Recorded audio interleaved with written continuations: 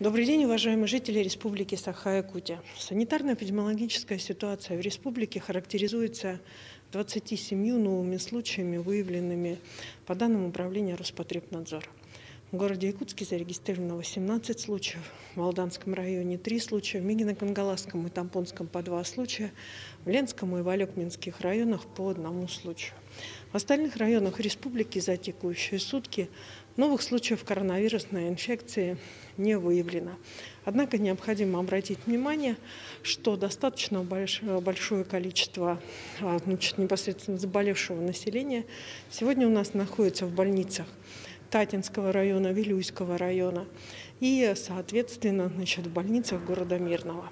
За сутки нами проведено 1754 а, исследования – при этом необходимо обратить внимание, что в целом с начала пандемии проведено 993 963 теста. Республика Саха-Якутия находится в стадии проведения вакцинирования населения.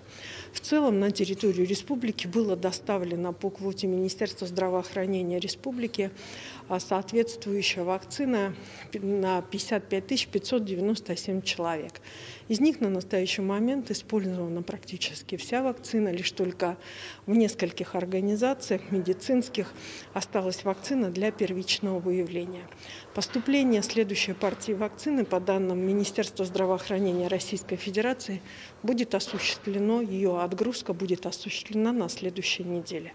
Обращаю ваше внимание, что мы дальше продолжаем запись на первичную вакцинацию и, соответственно, все те а, соответственно, вопросы, очереди, которые есть по вакцинации у нас на настоящий момент, мы начнем их ликвидировать со следующей недели, исходя из того количества, которое к нам поступило. На территории республики уже неделю действуют новые правила по указу главы республики Саха-Якутия, которые смягчают проведение ряда мероприятий, в том числе и крупных мероприятий на территории муниципальных образований.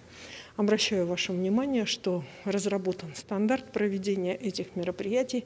Как организаторы проведения мероприятий, так и участники не должны забывать о необходимости соблюдения санитарно-эпидемиологических норм, которые являются обязательными на территории Республики Саха-Якутия.